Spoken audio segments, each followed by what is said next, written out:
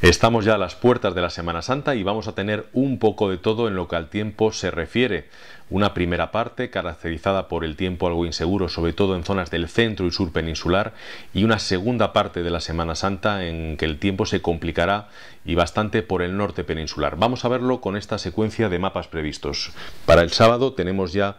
empieza a asomar una borrasca por la zona de Canarias que empezará a afectar de cara al sábado domingo el tiempo allí y que seguirá desplazando hacia los primeros días de la semana al sur peninsular, inestabilizando el tiempo, sobre todo como veis de cara al martes y miércoles. Ya este último día empieza a entrar el aire frío por el área cantábrica, empezarán a bajar mucho las temperaturas por esas zonas del norte y como veis esas dos partes más o menos diferenciadas. Los primeros días de la Semana Santa con tiempo algo inseguro por zonas del centro y sur peninsular y la segunda parte de la Semana Semana Santa, el tiempo también inseguro y bastante frío por el extremo norte, nordeste y también por Baleares.